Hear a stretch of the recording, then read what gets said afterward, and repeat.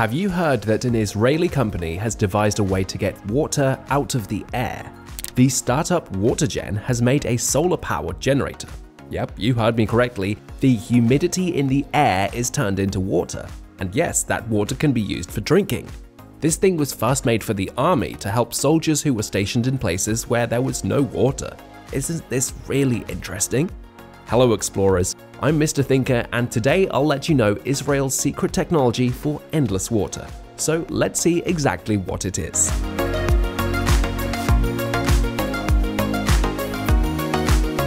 One of the most significant and cutting-edge water extraction techniques employed today to deal with the increasing issue of drinking water shortages is the manufacture of potable water from air humidity, also known as AWG. It is anticipated that 50% of the people worldwide would reside in places where there is no availability of pure, clean and drinkable water within the next 10 years. The market for atmospheric drinking water devices, or devices that produce drinking water from the air, is now led by WaterGen, a pioneering Israeli business. This company's solutions enable the elimination of carbon-intensive supply chains and harmful environmental plastic trash, in addition to being the most efficient and cost-effective way to address the urgent problem of potable water shortages in any area and at any time.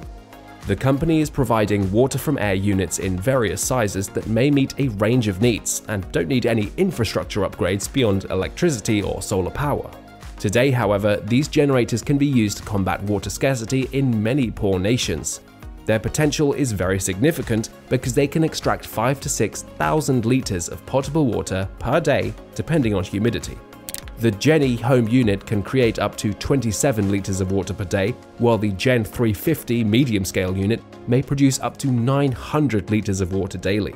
The business is incorporating the atmospheric water generator into automobiles as well. The system can be used to clean equipment, install cameras for automated cars, and perform other functions that need water injection. It's been designed to give passengers and motorists clean water to drink within the automobile.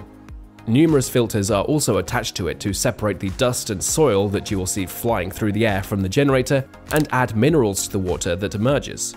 This is a pretty new technology. The business was established just in 2009, and it wasn't until 2016 that it began performing this thing to assist people. Anyway, that's all the information we have for you today. Don't forget to tell us what you thought about today's content. And while you're still here, make sure to subscribe to the channel for more mind-blowing videos like this one. Thanks for watching,